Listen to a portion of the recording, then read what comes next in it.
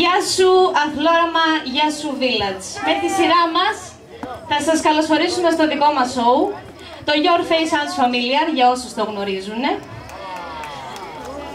Ε, από εδώ είναι οι διαγωνιζόμενες μας, το σπιτάκι 39, το σπιτάκι 19, το σπιτάκι 21, το σπιτάκι 20 και το σπιτάκι 21. Μας ζητήθηκε λοιπόν να μεταμορφωθούμε σε ένα παιδικό παιχνίδι που παίζεται στην παραλία και πάμε να δούμε τι έχουν να μας πούνε τα κορίτσια για αυτή τη μεταμόρφωση. Είναι δύσκολο να είσαι λίμπο.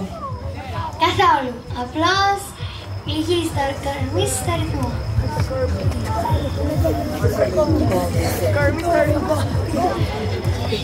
Πώς νιώθεις για το ρόλο που θα υποδηθείτε. Σούπερ! Σίγουρα θα ξεχωρίσουμε.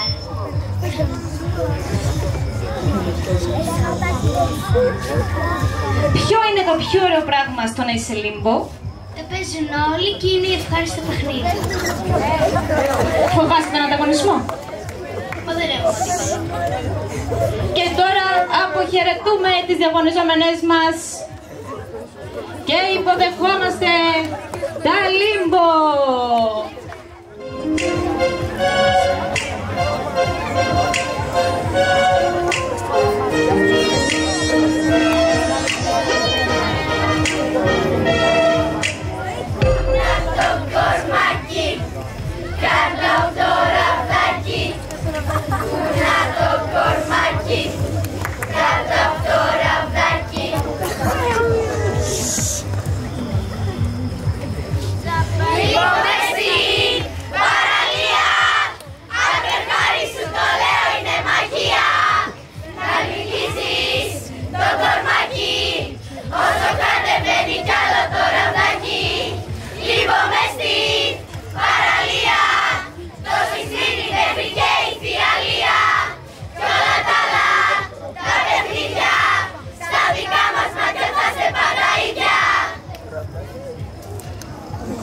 Δεν